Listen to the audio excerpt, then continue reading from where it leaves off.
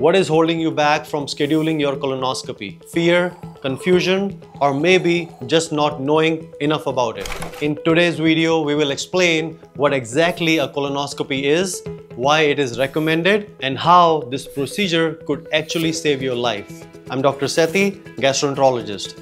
If you are over 45 or experiencing GI symptoms, it is time to think about your health, specifically your colon health. Have you ever wondered what happens during a colonoscopy and why it is so important? By the end of this video, you will understand why it is necessary, how to prepare for it, and what happens during the procedure.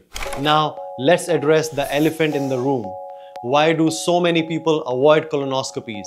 It is a procedure that can feel intimidating and uncomfortable just by thinking about it. But what happens if you skip it?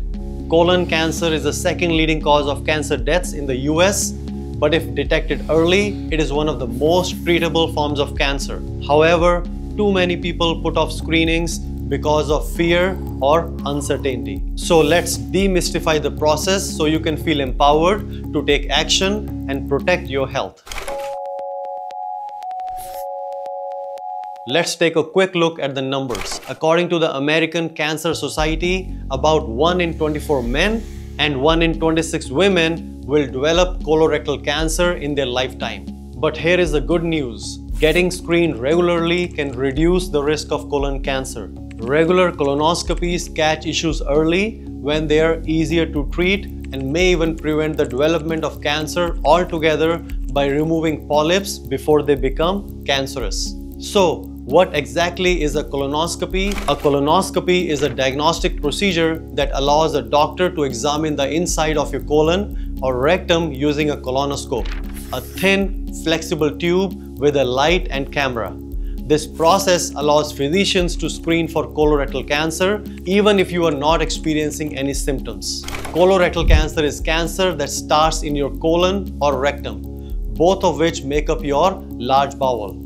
It often starts as a polyp, that is a tissue growth on the inner lining of your colon or rectum. Most polyps are not cancer, but some types can become cancer over time. A colonoscopy can do more than detecting polyps.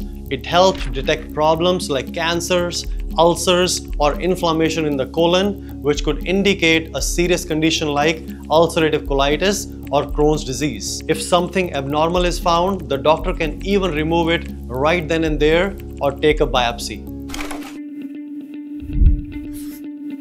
Outside of being over the age of 45, what are some reasons someone might have a colonoscopy? Your doctor may encourage you to start screening before you're 45 years old if you have certain risk factors that increase your chance of colorectal cancer, such as a family history of colorectal cancer or advanced polyps, certain genetic changes that increase your risk of colorectal cancer, certain medical conditions such as inflammatory bowel disease and primary sclerosing cholangitis. If you have been experiencing unexplained changes in your bowel habits, abdominal pain, or blood in your stools, these are all valid reasons to get a colonoscopy.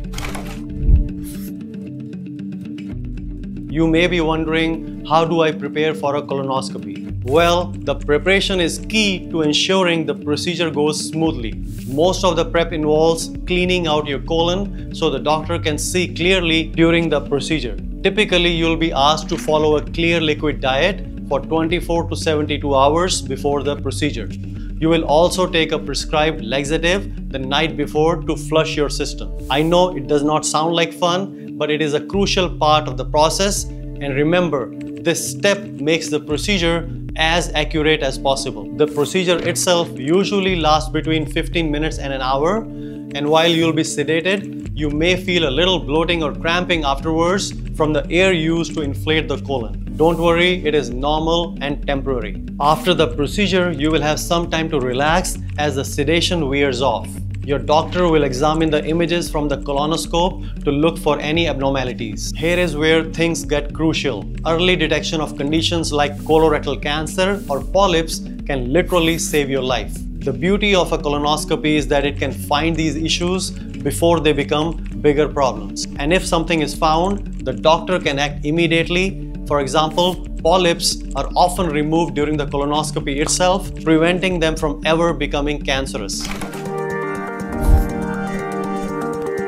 Colonoscopies are not the only way for a physician to screen a patient. While some people may need colonoscopies, which, by the way, are considered to be the gold standard, others might need a two-step testing with one of the following tests. Fecal immunochemical test, that is, FIT test. This is a fecal kit to collect a sample of your stool in your own home. You return the stool sample to your doctor or send it directly to a medical lab for testing. The lab checks for tiny amounts of blood in the stool that may be a sign of cancer. A lab may use other stool-based tests such as the multi-target stool DNA test instead of FIT to check for biomarkers of cancer. Flexible sigmoidoscopy. A doctor inserts a scope into your rectum and the lower end of your colon to check for signs of cancer.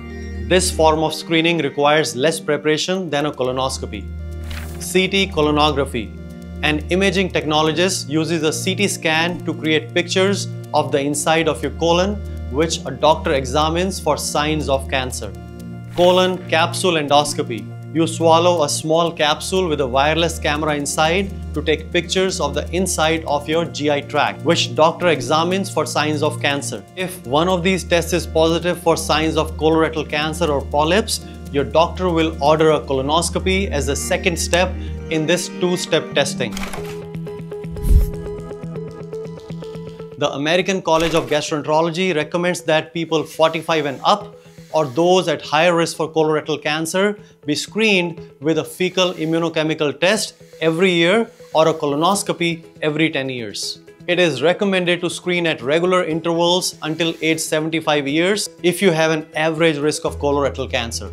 To sum it all up, a colonoscopy is simple but incredibly important procedure that can detect issues like cancer, polyps, and other digestive problems early on when treatment is most effective. If you are over 45 or have risk factors like a family history of colorectal cancer, chronic digestive issues, or previous polyps, talk to your doctor about when to schedule your colonoscopy.